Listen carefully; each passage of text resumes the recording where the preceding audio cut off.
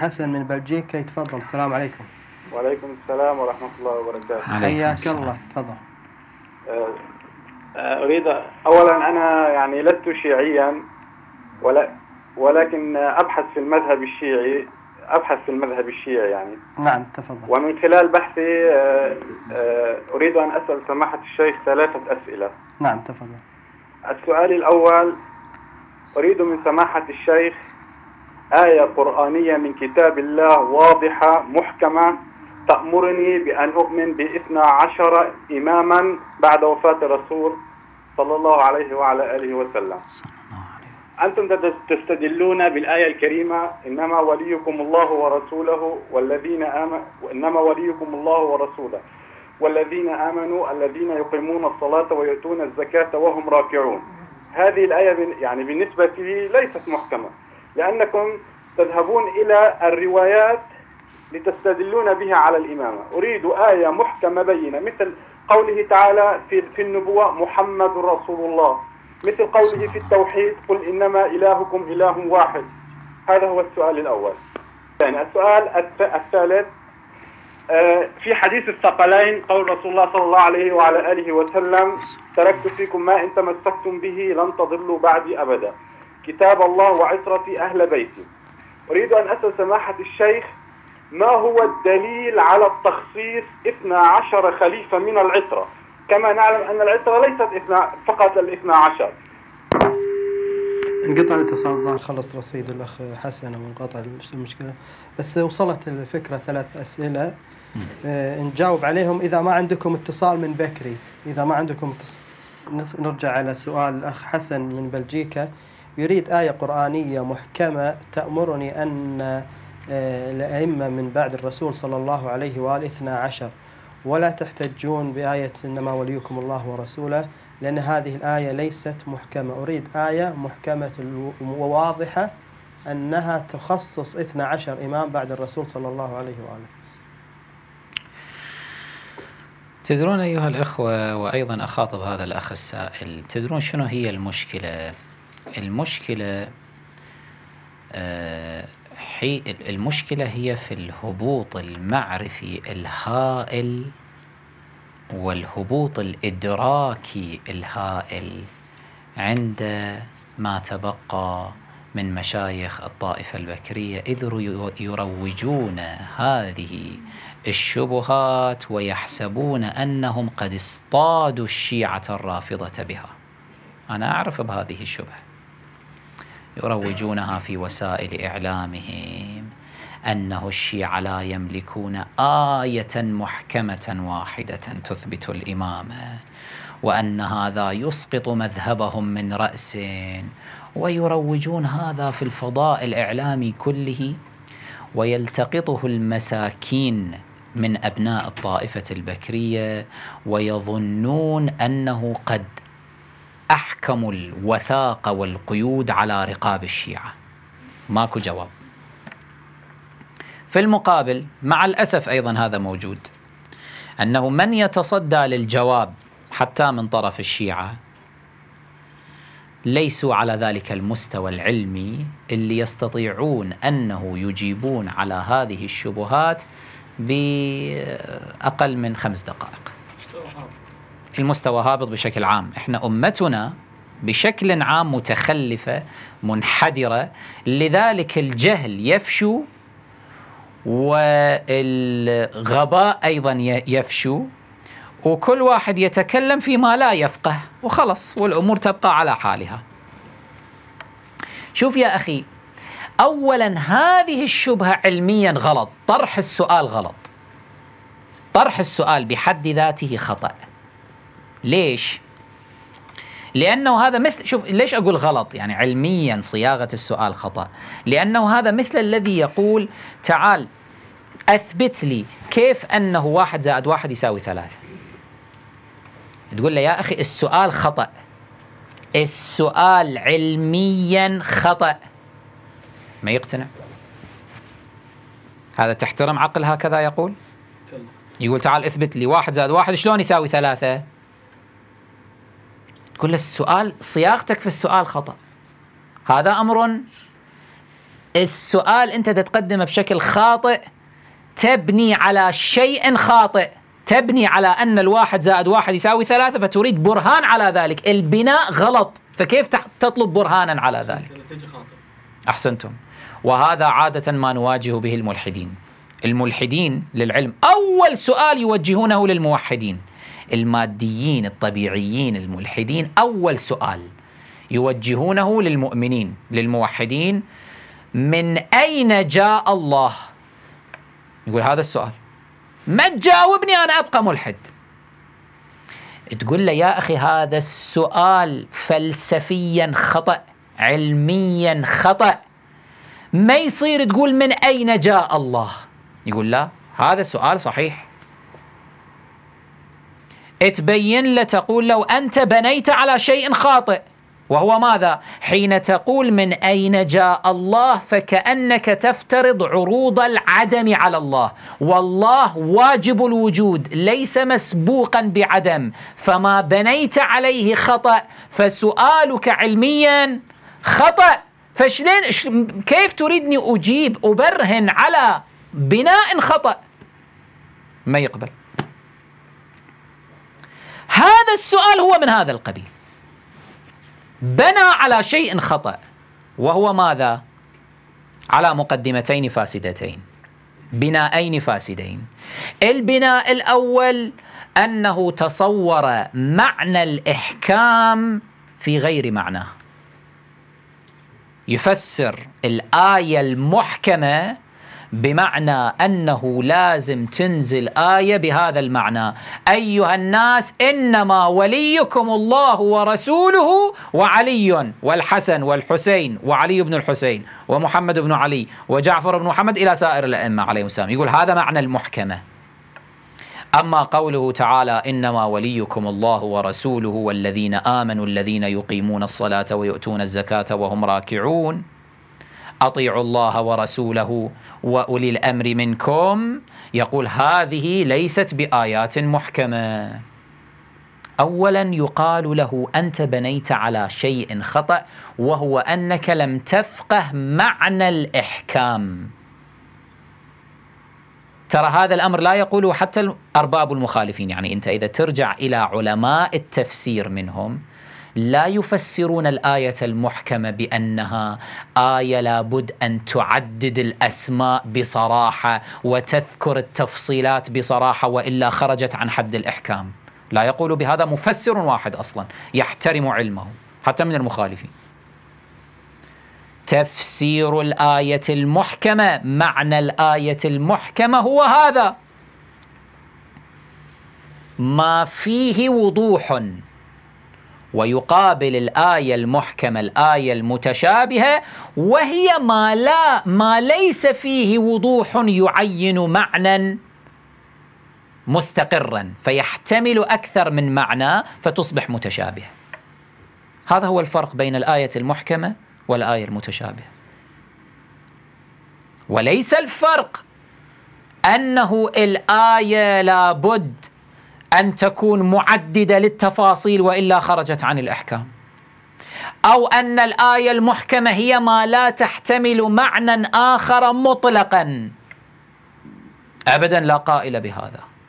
إذا نفتح هذا الباب تصير قامت تصير وأقيموا الصلاة تصير آية متشابهة. نقول لا ما أدرانا هي المراد هذه الصلاة بعينها بهذه الحركات.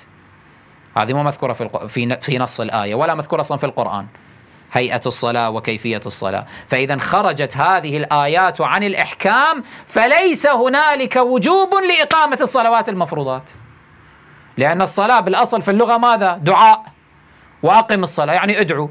واحد من المنحرفين بالكويت أنا أتذكر كان يقول أنا أصلي. ولكن شلون أصلي؟ يقول أتمدد هالشكل على الفراش وأفكر بالله وأسبح الله وخلاص هي هذه صلاتي هاي كافي. مو لازم أدي هاي الحركات. هذول قرآنيين ما قرآنيين ما يؤمنون بالسنة. شايف شلون؟ البناء حين يكون خطا عدم تنقيح معنى الآية المحكمة. عدم فهم معنى الآية المحكمة يصير خطأ في البناء فصياغة السؤال تكون غير علمية فالبرهان ينتفي. لأنه البرهان لا يقدم على نتيجة على بناء خطأ. هاي المقدمة الأولى الفاسدة. المقدمة الثانية الفاسدة. أنهم افترضوا أن أصول الدين على حد زعمهم لا بد أن تثبت بالكتاب وحده. أما الفروع فلا فلا بأس بأن تثبت بالكتاب والسنة. الأصول لازم تكون في الكتاب وحده. فإذا لم تكن في الكتاب محكمة صريحة فإذا لا ليست من أصول الدين. هذا أيضا بناء خطأ. هذا بناء خطأ. إذا فتحنا هذا الباب ففتق عظيم. يأتي على نفس أهل الخلاف يغرقهم. أهل الخلاف خاصة الحنابلة أهل الحديث منهم.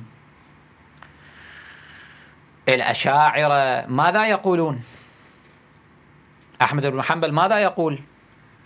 يقول كتاب الله هذا شوف كتاب الله هذا هذا ليس بمخلوق. من قال هذا مخلوق كفر. كفر كفر.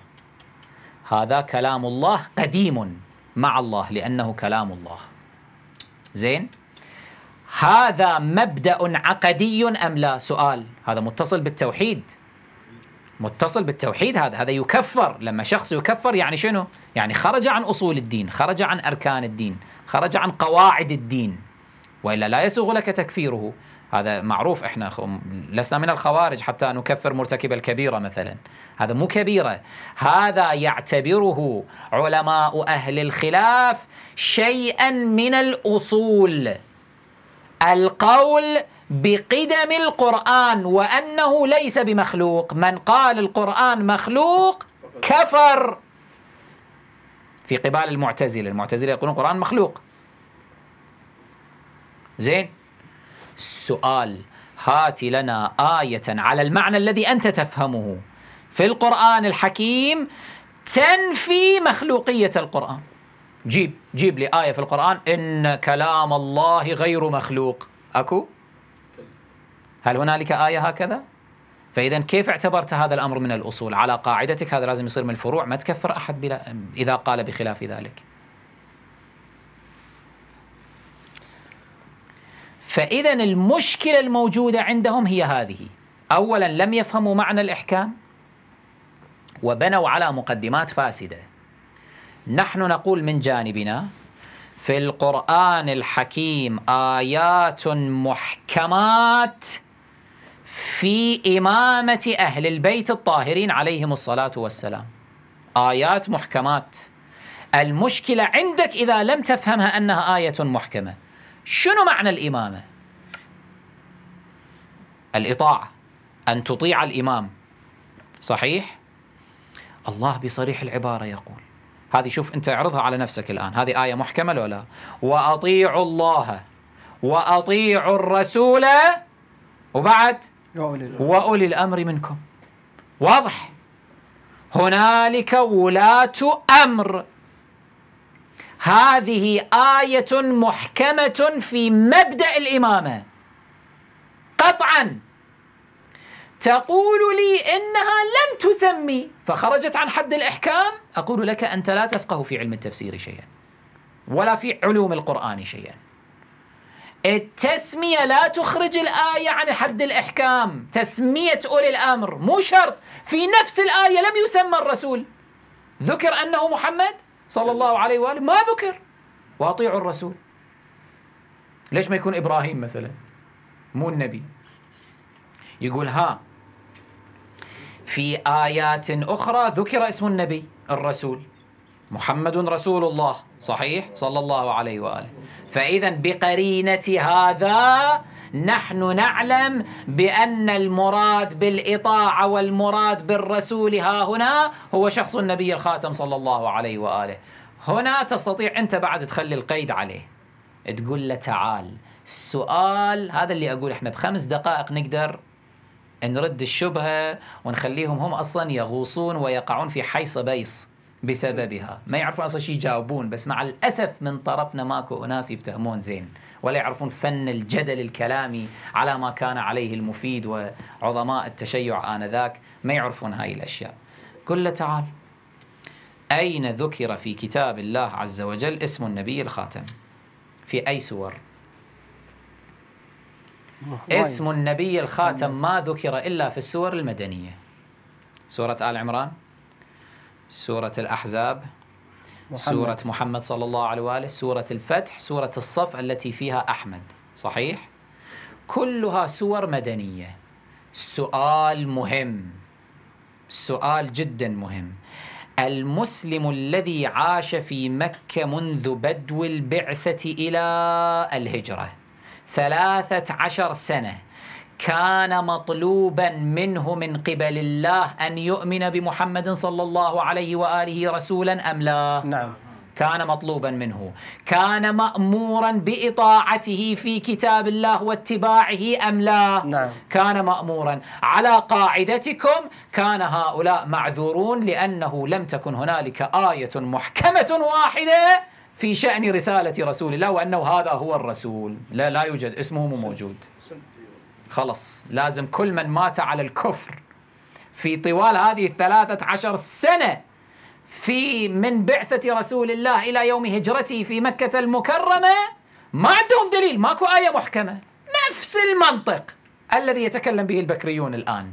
نفس المنطق.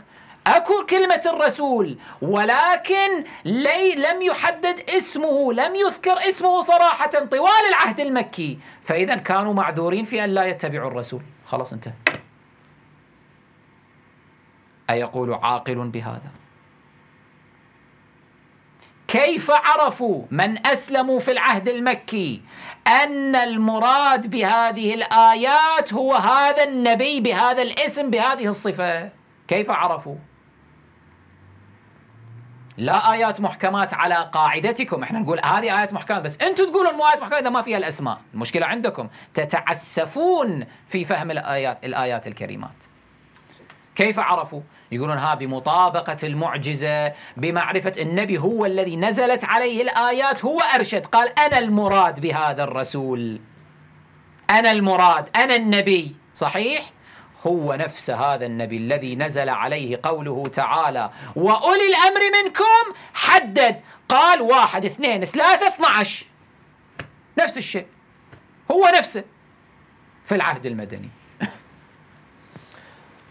فإذا نفس الشيء.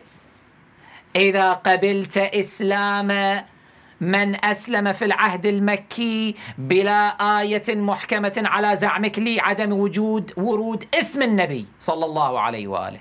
وجب عليك أن تقبل من يعتقد بإمامة الأئمة الأطهار عليهم الصلاة والسلام في العهد المدني مع عدم ورود أسمائهم في القرآن الحكيم. الوزان واحد. إذا لم تقبل ولم تعذر من كفر في العهد المكي بدعوى أنه لا يجد آية محكمة فيها اسم محمد صلى الله عليه وآله. إذا لم تقبل عذره فعليك ألا تقبل العذر التي الذي تعتذر به أنت اليوم بدعوى عدم وجود آية محكمة فيها أسماء الأئمة الاثني عشر. عليهم الصلاة والسلام. الوزان واحد القاعدة واحدة. تفكك انت صرت مزاجي. ما عندك قواعد وأصول. إحنا مع المزاجيين ما عندنا كلام. لأنه المزاجي مزاجي. ما عنده قواعد وأصول يمشي عليها. يلوف يروح يمنى ويسرب. كيفه حسب مزاجه. هذا ما يصير. هذا مو كلام. الآيات محكمات.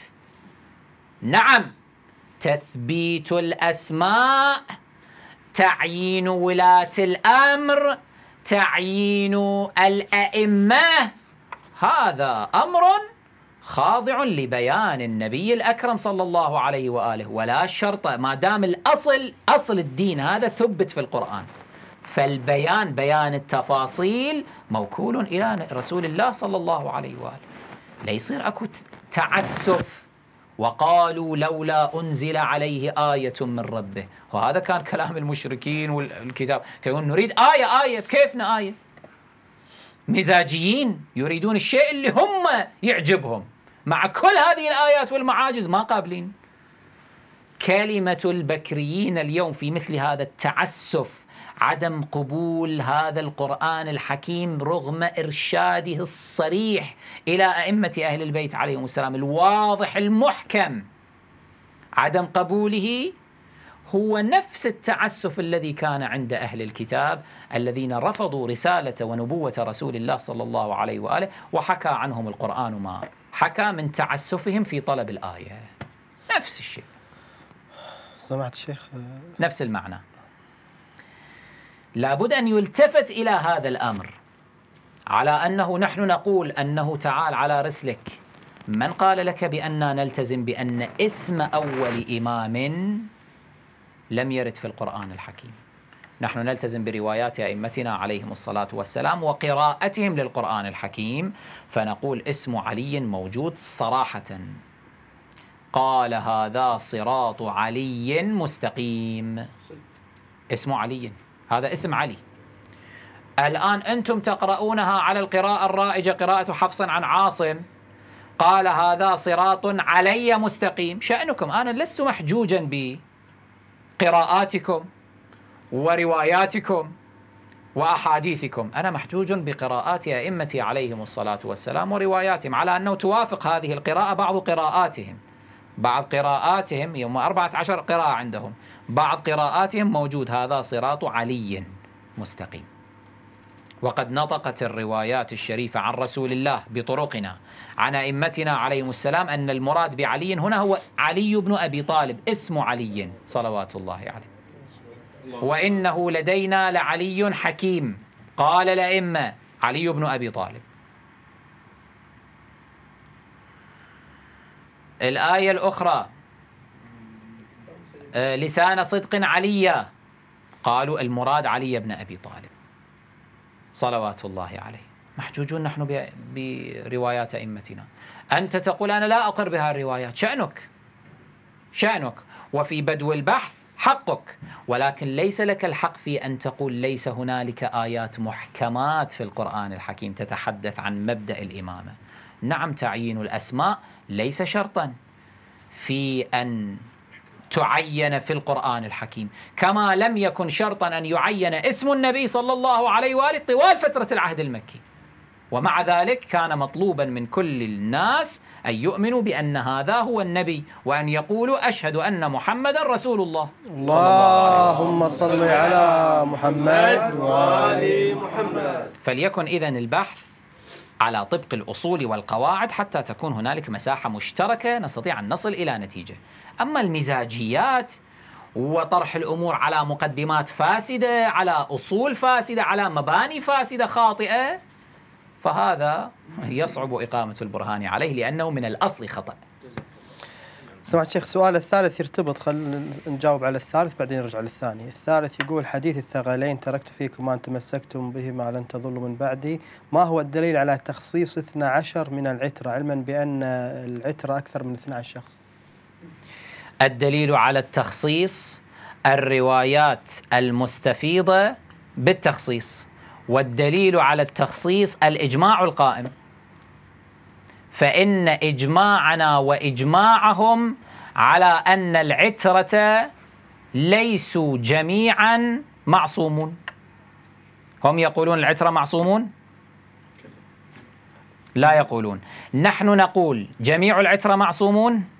لا مو جميع العترة. لا نقول. نخص منهم ماذا؟ الاثنى عشر إماما.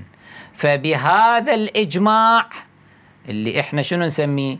نسميه الإجماع المركب نخرج نقح هكذا نشوف ما هو القول المنفرد بالعصمة قولنا نحن لأن نحن وهم متفقون على عدم عصمة العترة جمعاء صحيح؟ طيب وإذ ثبت في مقدمة أولى أنه إذ قرن رسول الله صلى الله عليه وآله بين الكتاب والعترة وأنهما لن يفترقا. صحيح؟ لن يفترقا أبدا. فهذا دال على العصمة. لماذا؟ لأن الكتاب بالإجماع معصوم. أحد من المسلمين يقول كتاب الله ليس معصوما؟ معصوم. وإذ جعل العترة قرناء وأعدال له ولن يفترقا يعني لا يمكن يصير افتراق فإذا حكم العترة هو حكم الكتاب دائما فوجب أن تكون العترة ماذا؟ معصومة. والإجماع أن العترة بأجمعها ليست معصومة فيخص منها بدلالة المقدمة الأولى من يخص منهم المعصومين فقط وليس ذلك إلا قول الإمامية بالإثني عشر معصوما فثبتت عصمتهم. هذا برهان كلامي. ما شاء الله. آه نعم. كل من يفقه أسس علم الكلام يتوصل إلى هذه النتيجة. الله بمحمد بن علي بفاطمة بالحسن بالحسين بالأئمة الأطهار